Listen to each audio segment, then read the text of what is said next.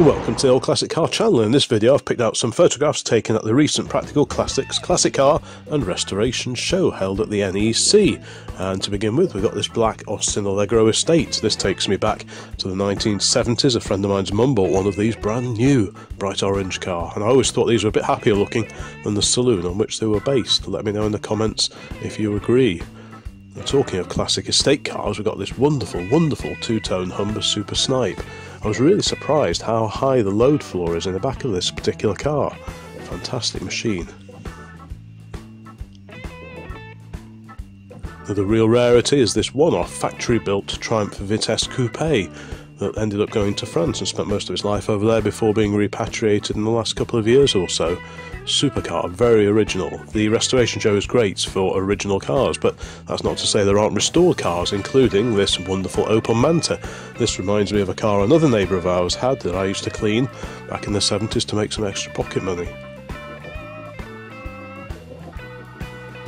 Another barn find here, this is a Wolseley 680 fantastic car from the early to mid 1950s. The main body shell is that of the Morris Oxford MO, with a longer front and a proud uh, Wolseley radiator on the front. And over in the auction area were many, many Land Rovers, including MZ9123. This is a 1950 Series 1, and it sold for £14,400. Very much a barn find Land Rover if ever I've seen one. Not a barn find in any way is this glorious 1924 Sunbeam Tourer fantastic, very original looking car apart from those flashing indicators. Uh, very, very nice to see pre-war cars at any of these big national classic car shows. As I said, many cars are restored that are on display, including this wonderful Series 1 Jaguar E-Type. The mirror underneath shows just how well finished the underside of the car is. Are one or two classic caravans and evidence as well. This is a pre-war 1930s Winchester complete with leaded glass, another picnic set there. Absolutely wonderful. On the same stand, slightly later in date, probably late 1940s at a guess, is this fantastic little Willoughby caravan.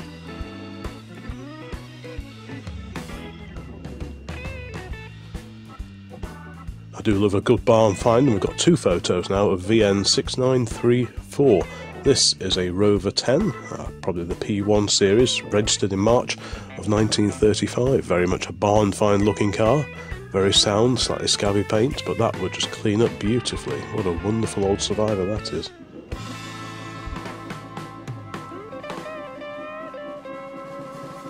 Next up at the NEC, we have this glorious standard Vanguard.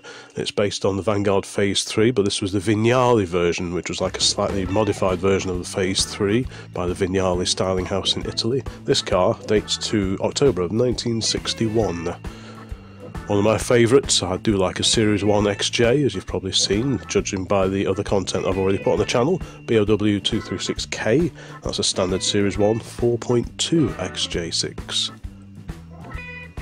Another favourite of mine, I used to run one of these. It's a Standard 10 Companion, the estate car version of the Standard 10. Very nice little car, quite rare being a four door estate, not just based on the van, but actually a bespoke estate car body. Next up, this was a bit of an unusual sight Ford Escort Mark 1 police car.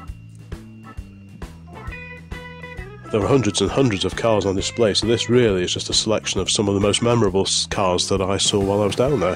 CLK 247 is a wonderful standard Avon 16 horse saloon from 1936. I do like those proper cast number plates. Note the 4 with the little tail on the bottom, the little serif on the bottom of the 4.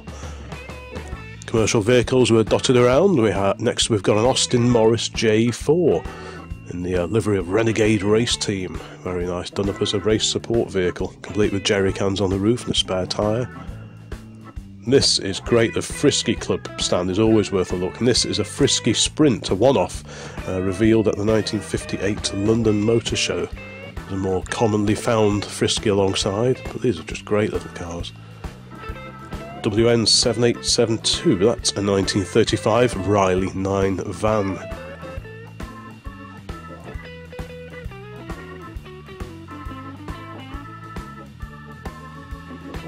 Also restored is this lovely little Austin J40 pedal car. This was on, on display next to a race prepared Jowett Javelin.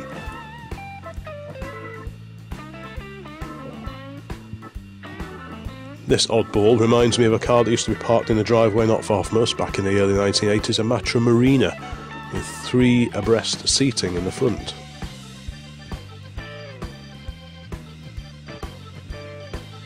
Another dusty relic in the auction area was this Daimler V8 250 with a 2.5 litre V8 engine under the bonnet.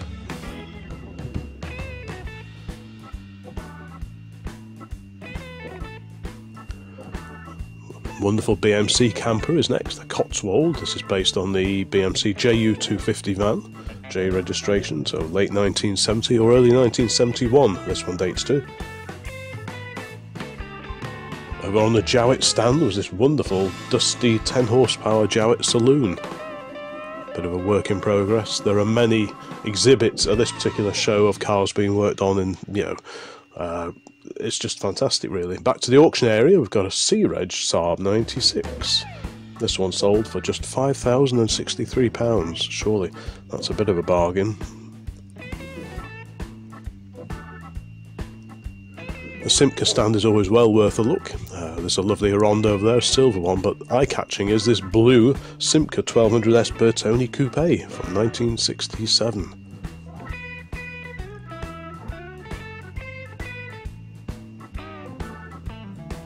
Jaguar here, we've got a very, very dusty Jaguar S-Type. Please do not touch, the sign say.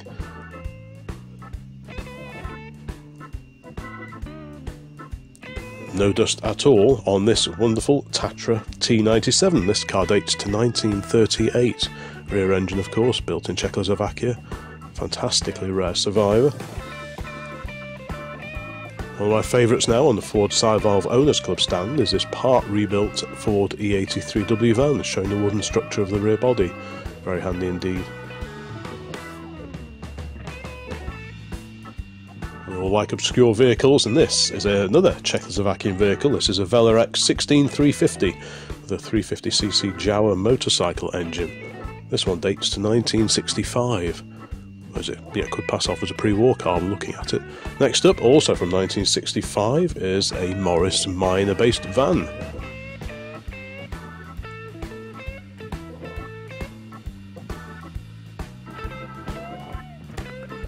Very smartly presented Reliant Scimitar SE5A, I believe.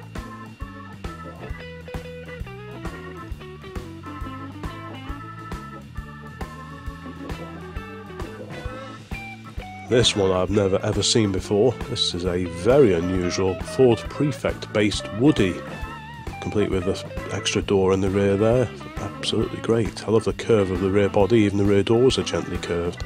In the auction area, EUA 735, this is 1937 Ford V8, and this sold for just £5,400, which has got to be one of the bargains of the day, surely. But no, there's an even bigger bargain coming up shortly.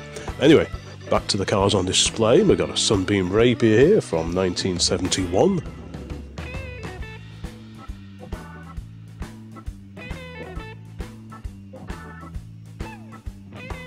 Very nice early 1960s Trabant here. Uh, this was the earlier shaped version of the car. They were reskinned slightly and made a little bit more boxy, but these early 60s ones were quite curvy, and I do quite like those. Back to the auction area, and we had this wonderful Bean van. This sold for just under £13,000.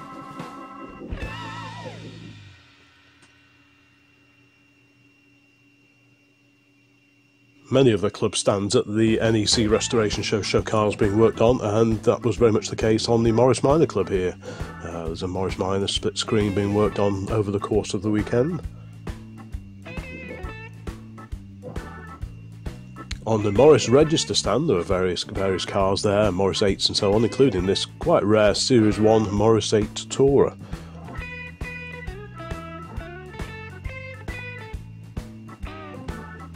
Somewhat shinier was this rare Hillman Husky Estate, based on the Hillman Minx, of course.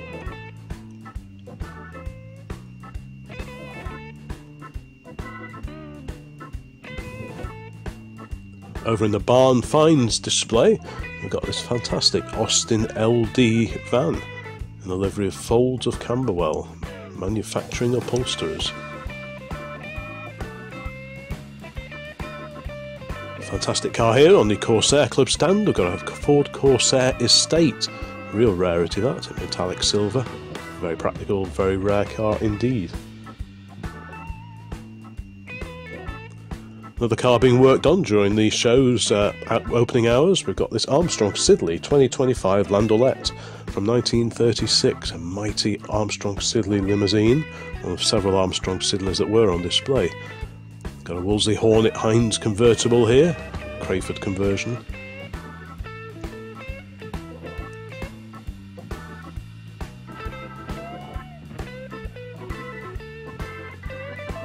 Another auction gem, the 1934 Chrysler Coupe convertible.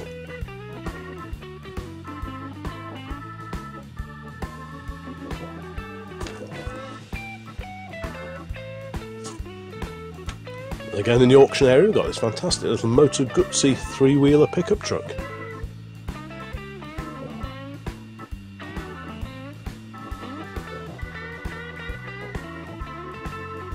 Another favourite of mine, this is a Volvo PV444 of the mid-1950s.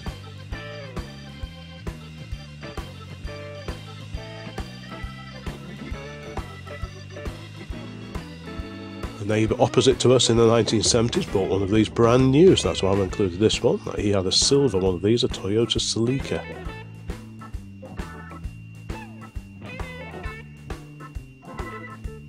The work in progress, this time a Jaguar E-Type Series 1, showing off the engine installation and a very, very large radiator.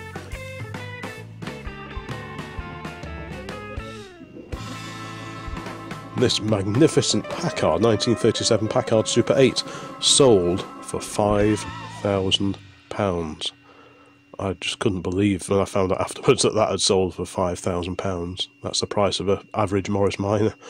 Next up, a Reliant Supervan 3.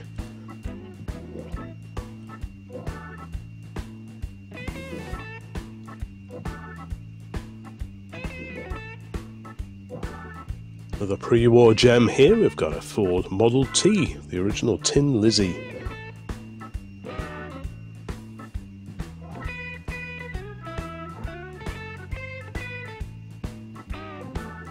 Lovely faded but oh so original 1960 Morris Mini Minor here. Last tax disc in the window there, February of 1981 that expired. Plenty of dust and faded paint on the Rolls Royce stand. This is a 2025 limousine from 1935 that spent 60 years sat in a barn and was bought recently for a very modest sum. A gaggle of P1800Ss on the Volvo Club stand here.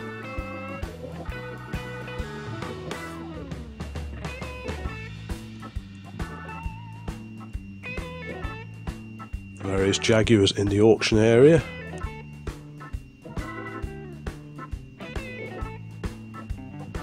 Any of these classic cars float your boat, please let me know in the comments. Quite a rare survivor now, a Vauxhall Ventora, which is a posh version of the Vauxhall Victor of the early 1970s.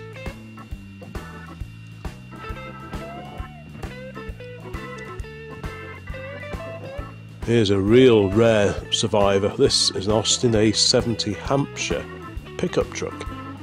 What a beauty that is.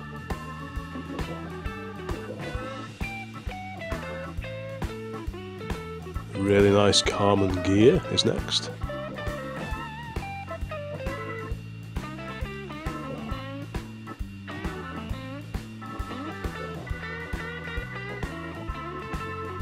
Over in the barn find section, we got this glorious Jowett Bradford ice cream van from 1949 with just 28,000 miles on the clock.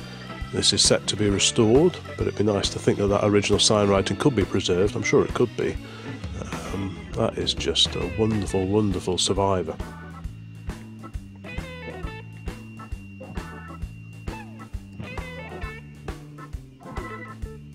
Next up, a very, very shiny, very, very smart MGA Roadster. I'm not sure about the chrome wires, but otherwise, beautiful little car.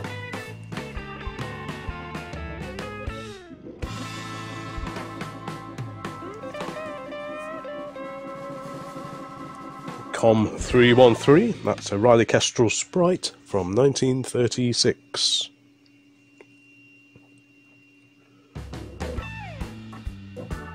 Also in the auction area, we've got WFV 806, a much, much modified Frog Eye Sprite.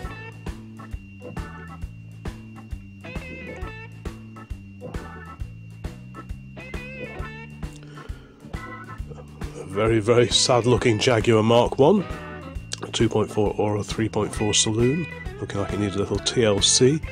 I've included a photograph also of the description on the windscreen, which is a master of understatement. An element of recommissioning is to be expected prior to returning it to the road. Some of these cars do start run and drive. It would appear that this car has been parked for years. Over on the Saab Club stand there are various shiny cars, including this wonderful Saab Sonett.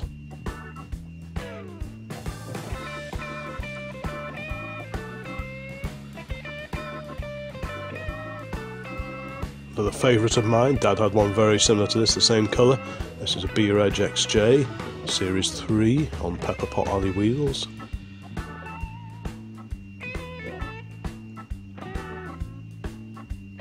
Perfect for a weekend away at a steam rally somewhere. We've got a Mark 1 transit based camper van, G Reg, so that'll be what, late 1968 or early 1969, that registration.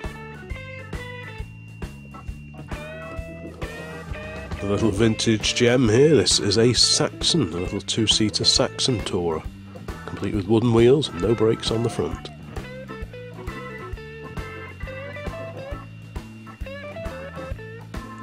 Quite a rare survivor now, a Hillman Avenger Estate.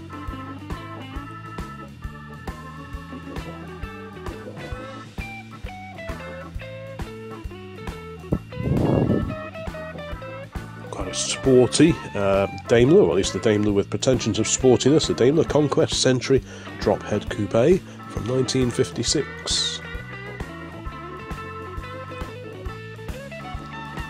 Very unusual conversion here of an XJS with a lift up tailgate.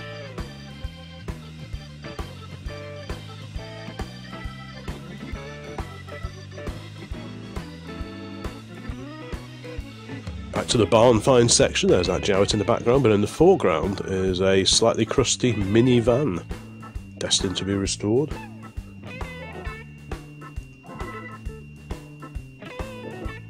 There's a bit of information about this minivan, 1960.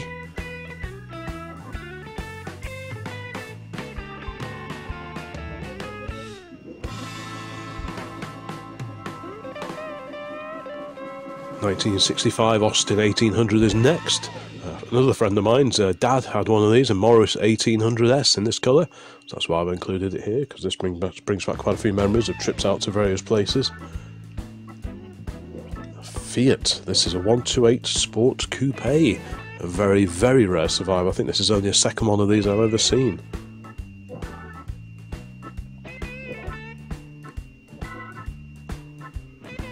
A very original looking Austin Maxi here, complete with lots and lots of handy hints and tips written all over it.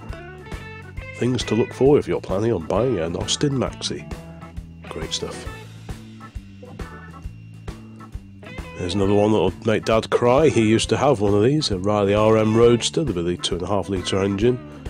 Magnificent vehicle.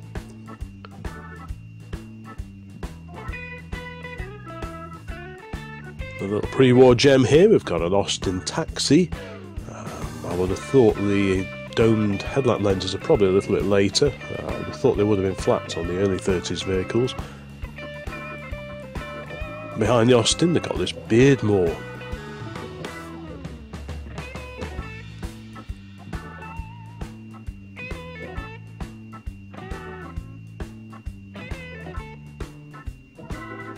Quite an interesting little MGB here.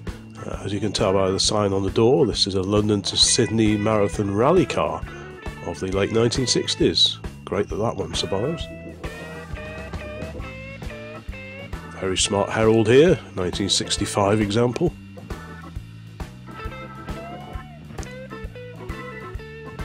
Just a few more classic cars to go from this year's NEC Restoration Show. Next up, a rear three-quarter view of a P-Reg Jensen Healey GT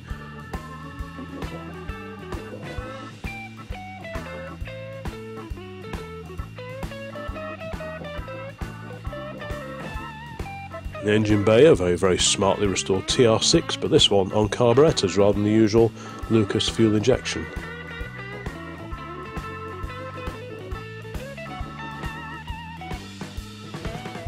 Lovely Austin A40 based van here of the mid 1950s.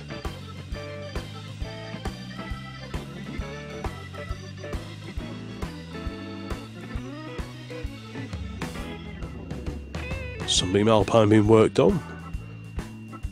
If you went to the uh, restoration show this year, let me know in the comments which were your favourite cars. If I've included yours, great. Little pre-war Wolseley Hornet here.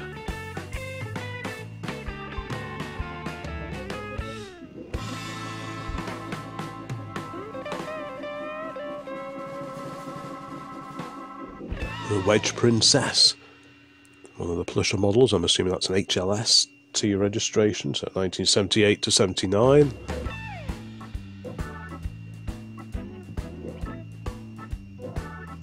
Back to the Armstrong Siddeley stand, and we've got this Sapphire.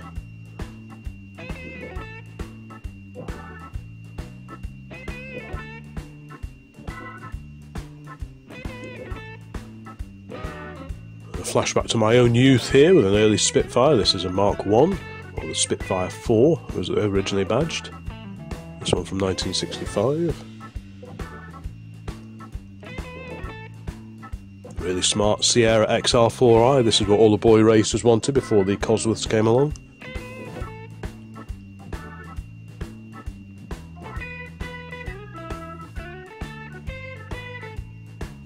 Back over on the Austin Counties Car Club stand, we've got this super duper rare Austin A70 Hereford from 1952 drop head coupe. The bodywork was done by Car Bodies, apparently. A lineup of Range Rovers. There were many, many scruffy early Range Rovers in the auction area, and they all sold quite well, from what I can tell. And they round out this collection of photographs taken at this year's Practical Classics Classic Car and Restoration Show at the NEC. Uh, if you've got any favourites, please let me know in the comments. If you went along, um, yeah, let me know which of the cars that were there uh, appealed to you most. So uh, thanks very much for watching, and there'll be more videos along very, very soon. So bye for now.